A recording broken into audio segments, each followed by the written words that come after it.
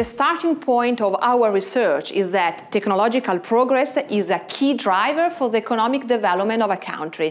However, the empirical academic evidence shows a lower rate of women engaged in the generation of technological impact in respect to men, thus creating a gender gap. The existence of this gap may limit the potential for technological growth. Indeed, a stronger representation by women in technological domains would allow expanding the range of technological applications, products, standards, and practices which could benefit all the society.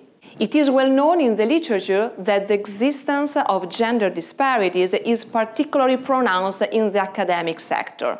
With our project, we intend to contribute to the extant literature on the gender gap in three main ways. The first one, we intend to understand whether the gender gap in science is equally distributed among European areas.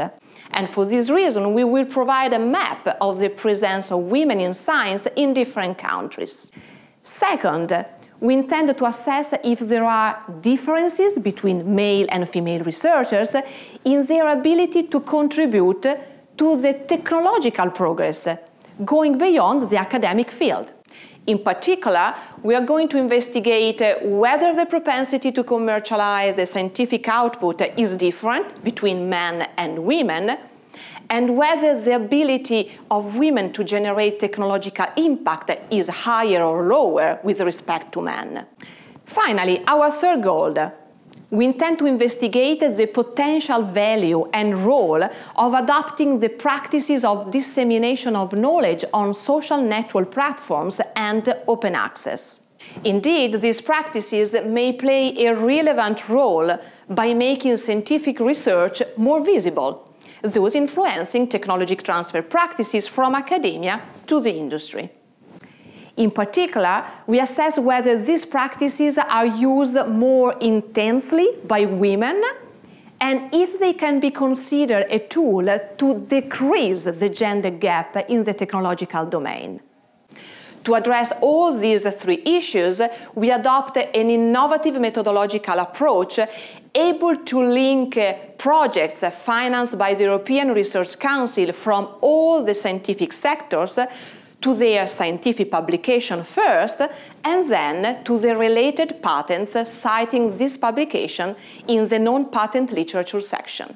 Moreover, in order to measure the online visibility of research publications, we link uh, research outputs to data available on Altmetrics, a platform which focuses on movement on different types of social media. Finally, in order to identify the gender of the principal investigators of the projects, we apply sophisticated image recognition algorithms.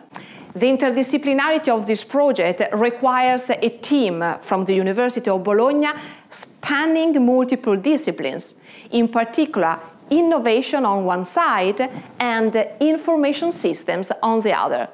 With this project, we intend to inform academics, practitioners, and policymakers about the magnitude across Europe of the gender gap, both in science and in innovation.